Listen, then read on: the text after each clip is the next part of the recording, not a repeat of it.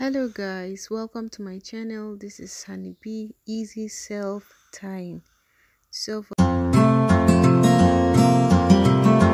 this video i'll be using um 72 centimeter for the length and 28 centimeter for the breadth.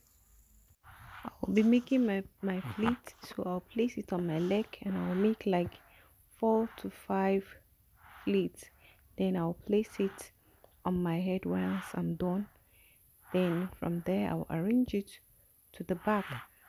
The other side will be a little bit longer than the other, other side. So I'll arrange them well. So after doing that I will bring the other side under the other one I place. I'll then use my hand to hold one of the side.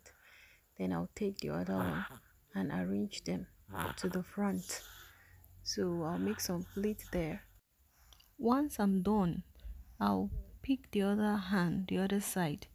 I'll also do the same thing. Now arrange them well.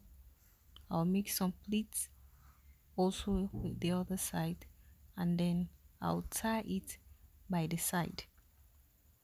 So after doing so then I'll now pick the shorter hand. I'll pick the shorter hand which is at the front. And I'll also cut those small pieces that you're seeing. So I'll pick the shorter hand. I'll open it well to the front. I'll make sure I open it well. I want to make I'll be making a rose flower with it. So that's how I arrange it. And I'll get my pin and pin it there. Once I'm done I'll also arrange it well arrange it well. So the other um the other hand which is at the back I'll also do the same thing. I'll open it well.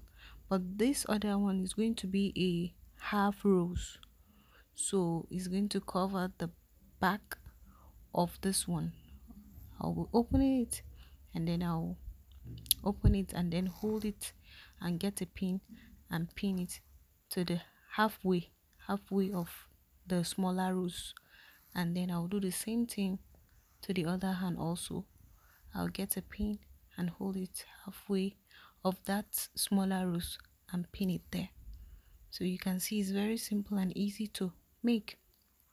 So once you're done you see you have your scarf. You're good to go. You cut off all those small small excesses there.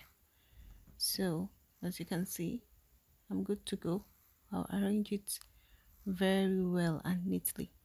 Thanks for watching and please do not forget to subscribe to my channel if you are new here. This is Honeybee Easy Self Tying. So whenever I post new videos, I upload new videos, you'll be able to see and you can also drop your comment. Thanks for watching.